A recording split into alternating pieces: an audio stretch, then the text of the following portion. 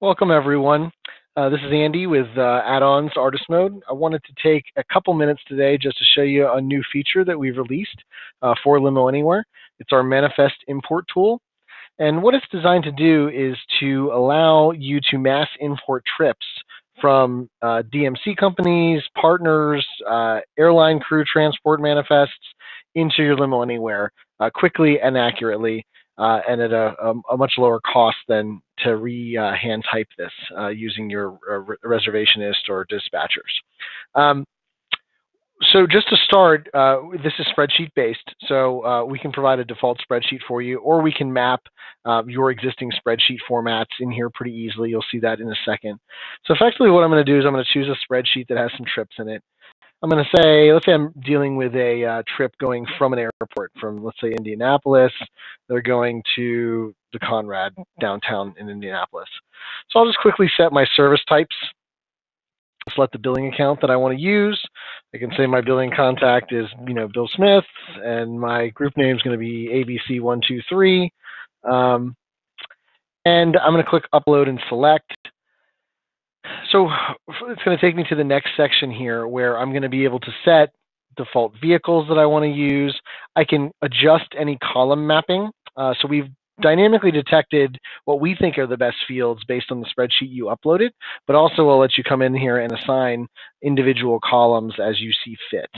Uh, populate static data for drop-off pickup instructions, notes, things of that nature.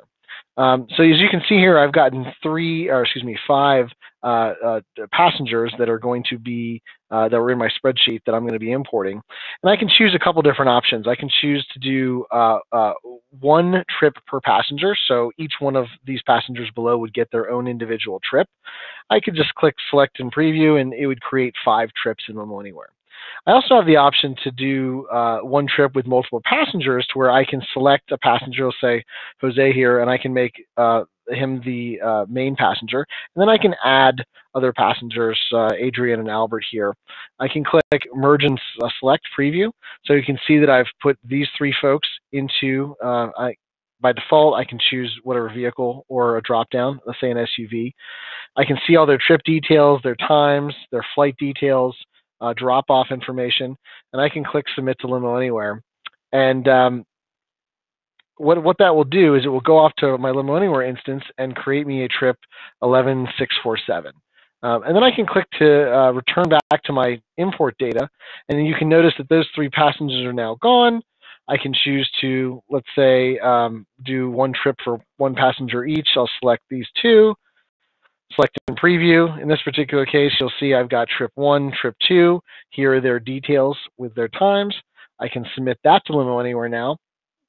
And notice I didn't select a vehicle. I created 11648 uh, and 649 successfully. Um, now, if I go over to my uh, uh, Limo Anywhere interface here, I can select the, the trip date that I, uh, I had programmed here, which I believe is the 29th. And you'll notice that I've got the three confirmations that I just created here.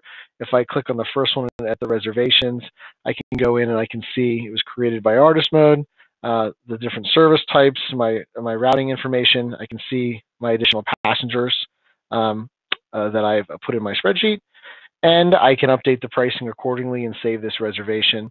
Um, this is quick, uh, it's error free, um, and it's way less expensive than retyping data into Limo Anywhere.